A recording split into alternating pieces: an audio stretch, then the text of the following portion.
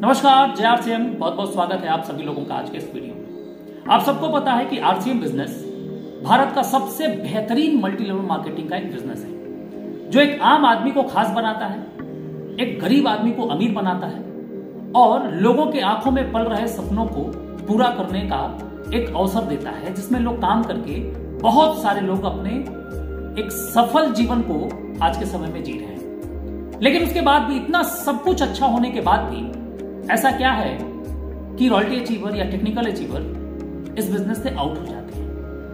या यूँ कहें कि वो बिज़नेस को करते भी हैं तो बहुत धीरे तरीके से करना शुरू कर देते हैं। वो केवल इस बिज़नेस में बने रहते हैं। इसके पीछे बहुत सारे कारण हो सकते हैं, लेकिन एक कारण जो मुझे, मैं बहुत अपने आसपास में लोगों को देख रहा हूँ, उससे जो समझ में आ रहा है, वो चीज़ मैं आपको बता रहा हूँ। और आप भी अपने आसपास उठा के देखिएगा कि आखिर ऐसा क्यों हो रहा है। क्योंकि फ़ील्ड में लोग बोलते हैं कि देखो वो छोड़ दिए वो छोड़ दिए वो छोड़ दिए। फला बहुत सारे एग्जाम्पल्स वो देते रहते हैं। इसके पीछे कारण क्या है कि जब आप रॉयल्टी अचीवर होते हैं और पच्चीस तीस हज़ार रुपए की आमदनी शुरू होती है आपकी तो आपको या किसी को भी, जो भी रॉयल्टी अचीवर है या टेक्निकल है, पचास हज़ार रुपए की आमदनी हो रही है तो उसको यह लगता है कि अब तो हम स्टेबल कर चुके हैं अपनी ज़िंदगी में। अब यह आमदनी तो हमारी लाइफ टाइम आने वाली है। तो उस चक्कर में वो क्या कर देता है, वो व्यक्ति जो भी इस तरीके का बिज़नेस करते हैं, वो अपने ज़िंदगी में मनी मैनेजमेंट न करते हुए वो क्रेडिट कार्ड पे डिपेंड हो जाते हैं।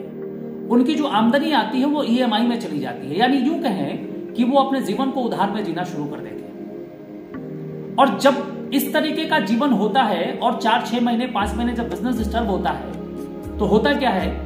कि सही समय पे ईएमआई जमा नहीं होती है, खर्चे बढ़ जाते हैं, आमदनी या तो सीमित हो जाती है तो घट जाती है। तो आदमी टेंशन में आता है, डिप्रेशन में आता है। और जब इस तरीके की चीज़ें बनती हैं, और जल्दी वो सुधरती नहीं है, क्योंकि उन्होंने गलती तो कर दी है तो क्या होता है कि फिर फैमिली में डिस्प्यूट होता है।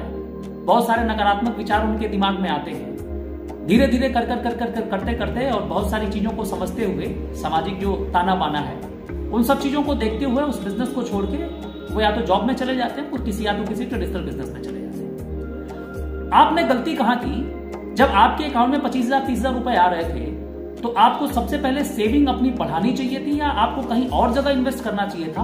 अपने खर्चे को लिमिट करके आपने जब बिज़नेस शुरू किया तो बिना किसी एक रुपए आमदनी के आसन से शुरू किया, आप तीस हज़ार तक पहुँच गए। उसी बाइक से बिज़नेस करके पहुँचे ना? तो आप तीस हज़ार की आमदनी तक पहुँचे तो उसी बाइक से आप तब तक बिज़नेस करिए जब तक कि एक लाख रुपए की आमदनी आपकी ना आ जाए। आप मुकेश कोठारी जी को सुने होंगे। बहुत बड़े बड़े लीडर्स हैं आरसे में, जो करोड़पति हो चुके हैं आज के समय में। उन लोगों ने क्या किया? जब उनके अकाउंट में रुपए आने शुरू हुए तो उन लोगों ने निवेश करना शुरू किया। अलग अलग जगह पे इन्वेस्ट करना शुरू किया। मुझे याद है बनारस में आज के करीब चार साल पहले मैंने मुकेश कोठारी जी को सुना था। उन्होंने एक बात बड़ी बेबाकी से बोली थी। उन्होंने कहा था कि आरसीएम से जितना मैं कमाता हूँ, उससे कहीं ज़्यादा मैं अदर सोर्सेस से कमाता हूँ। लेकिन उसके बाद भी उनकी ज़िंदगी में फ़र्स्ट प्रायोरिटी पे आरसीएम रहता है। क्योंकि आज वो ज़िंदगी में कुछ, जो कुछ भी है, वो आरसीएम की वजह से लेकिन उन्होंने अपना दिमाग लगाया। वो जब आरसीएम से कमाना शुरू किए तो उस रुपए को अलग अलग जगह पे निवेश किए और वहाँ से आमदनी शुरू हो गई। तो वो कभी टेंशन में नहीं रहते बोले अब तो मैं पंद्रह दिन आरसीएम करता हूँ, पंद्रह दिन बाकी जो बिज़नेस है उसको मैं संभालता हूँ। सब लोग जानते हैं कि उनका रियल एस्टेट का बहुत बड़ा बिज़नेस हो गया और भी बहुत सारे बिज़नेस है। हर लीडर अलग अलग सेगमेंट में बिज़नेस कर रहा है। क्योंकि वरुण बफेट जी ने कहा है कि जहाँ से आपकी आमदनी हो सकती है, आप करिए। तो आपको जब आरसीएम रुपए दे रहा है तो आप उसको निवेश करिए और खर्चे को कम करिए। आप रॉयल्टी हो गए, आप टेक्निकल हो गए बहुत बहुत बधाई। मैं चाहता हूँ कि आपके घर में गाड़ी आए, आपके घर में फ्लैट आए, आपके बच्चों का अच्छा एजुकेशन हो। लेकिन समझदारी से। आज के समय में अगर आप डेफ्ट फ्री जीवन जी रहे हैं तो यकीन मानिए आपका जीवन सबसे बढ़िया, शानदार है। आप शाम को बहुत, रात में बहुत आराम से सोएँगे और सुबह बहुत आराम से उठेंगे, कोई टेंशन नहीं रहेगा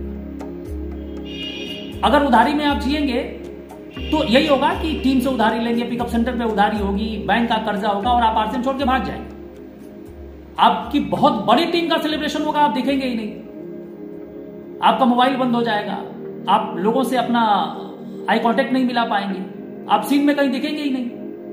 तो वो सब चीज़ें ना हो, उससे बढ़िया ये है कि आप वेल स्टेबल बिज़नेस करिए। आप एक एक स्टेप उठाइए, आराम से चलिए। आज तक मैंने क्रेडिट कार्ड अपने ज़िंदगी में कभी, अभी अभी इकतीस साल की उम्र हो गई, मैंने लिया ही नहीं। मेरे पास सब कुछ है। मैं जब जून सन 2016 को बिज़नेस स्टार्ट किया था, दूसरी बार, और जनवरी सन 2017 में रॉयल्टी आया तब से मैंने इन्वेस्ट करना शुरू कर दिया। और आज के समय में डेप्थ फ्री जीवन में जीता हूँ। बहुत इत्मीनान से आरसीएम करता हूँ, बहुत शौक से करता हूँ, बड़े आनंद के साथ करता हूँ। मेरे टीम के लोग जानते हैं, मैं तो एंजॉय करता हूँ आरसीएम के साथ।